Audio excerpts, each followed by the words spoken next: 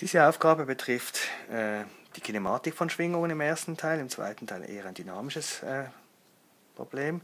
Ein Teilchen schwingt harmonisch mit einer Frequenz von 7,5 Hertz und einer Amplitude von 16 cm. Also 16 cm irgendwie hoch und runter. Äh, ja, 16 cm hoch und runter und das macht er 7,5 Mal pro Sekunde. Es ist gefragt, wie schnell ist das Teilchen maximal und welche Beschleunigung hat das.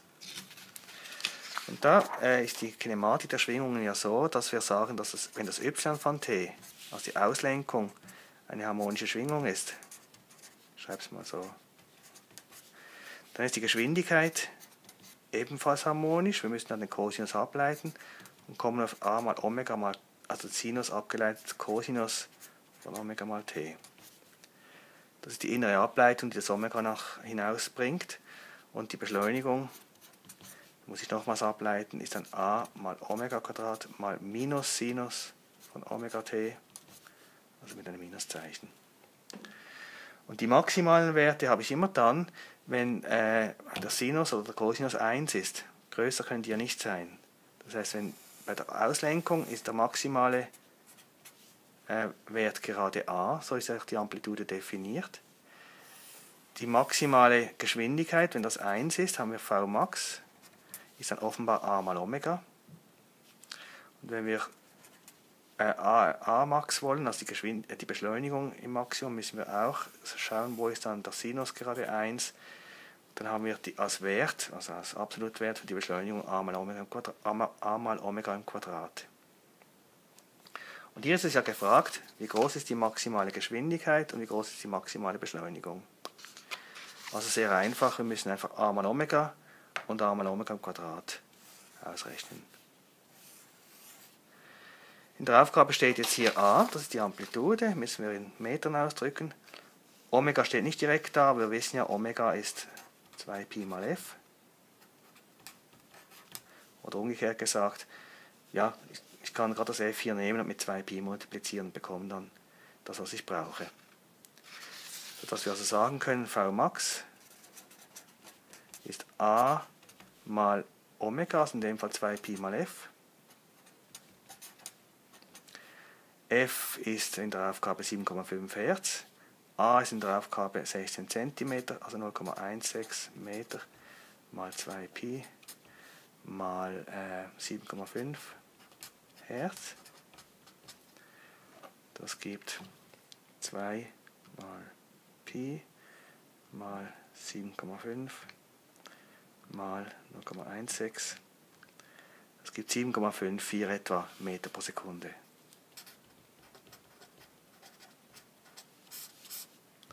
Das wäre das Vmax. Und das Amax, da müssen wir auf die Rechnung diese Zahl noch, nochmals mit Omega multiplizieren. Also wir erhalten dann a mal 2pi mal f im Quadrat. Da das gleiche, aber einfach mit dem Quadrat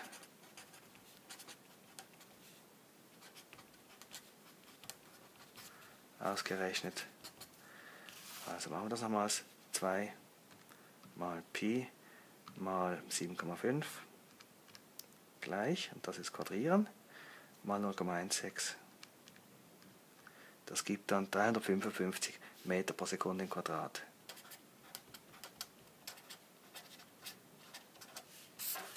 Eine recht äh, beachtliche Beschleunigung haben wir hier für dieses Teilchen.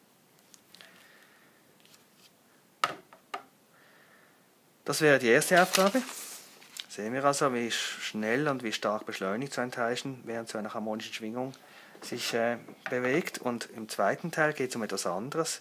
Da wird also ein Kran äh, genommen, das beim, Anhäng beim Anhängen einer Last der Masse M1 gleich 1150 Kilogramm an einen Kranhaken der Masse 60 Kilogramm dehnt sich das Seil um 32 mm.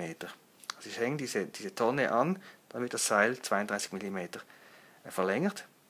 Bei welcher Frequenz kann die Last vertikale Schwingungen ausführen? Also Schwingungen äh, in Richtung des Seils. Und wir vernachlässigen hier die Masse vom Seil und auch die Reibung. Nun, auch da ist, äh, das ist die Dynamik von Schwingungen hier gefragt. Wenn wir so eine, äh, Also das ist das Seil, nicht wahr? Wir haben da jetzt zunächst nur den Kranhaken dran. Wenn wir jetzt da noch die Last äh, dran bringen, dann verlängert sich das Seil um 32 mm, ist dann weiter unten. Und mit dieser Verlängerung können wir ausrechnen, das ist quasi das x, um das es verlängert wird, können wir ausrechnen, äh, wie stark das Seil ist, also wie stark es auch zurückzieht. Und wir nehmen hier jetzt an, dass es eine elastische Deformation ist, wo wir also sagen können, dass das x nach dem Hooke'schen Gesetz dann äh, vergrößert wird. Und das Federgesetz von Hooke sagt ja F, dass die Kraft einer solchen Feder, eines solchen Seiles gleich K mal X ist. Oder anders gesagt, die Federkonstante K ist dann die Kraft, die man da ausübt, durch die Verlängerung, die das Seil dann macht. Jetzt die Kraft, die wir anhängen, ist ja M mal G.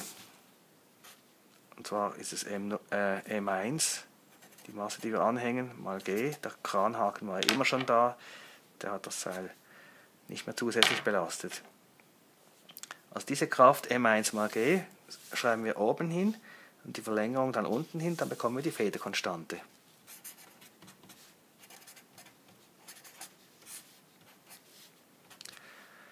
Rasch aus, das ist 1050 Kilogramm mal 9,81 Meter pro Sekunde im Quadrat. Durch die Verlängerung jetzt in Metern, das ist also 32 mm oder 0,032 Meter. 1050 oh. mal 9,81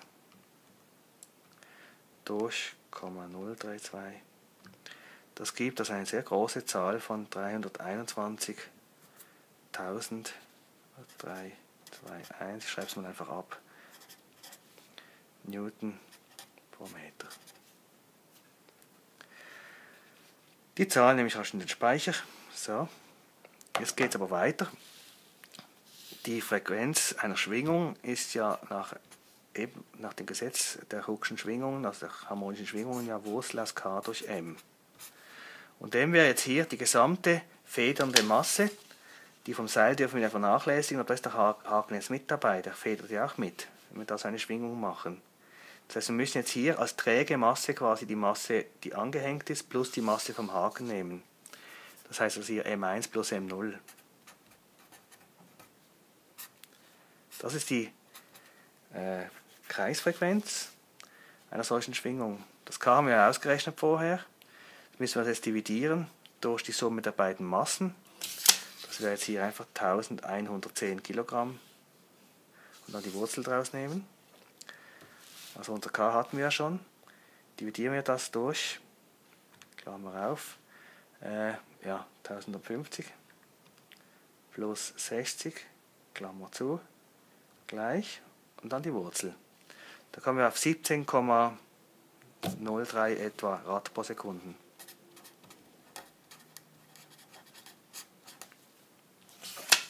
Das wäre die Kreisfrequenz. Gefragt ist aber die normale Frequenz f also Omega durch 2Pi.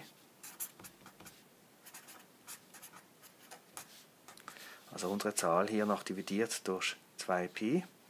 Das gibt, die Zahl haben wir noch, durch 2 durch Pi 2,71 Hertz.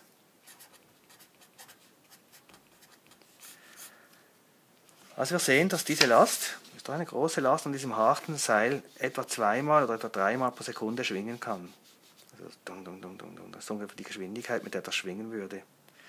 Das würde auch bedeuten, wenn das die Eigenfrequenz ist, dass man äh, gegebenenfalls hier durch Anregung eine Resonanz erzielen könnte, wenn man die Anregung ungeschickt wählt oder geschickt wählt, je nachdem was man will.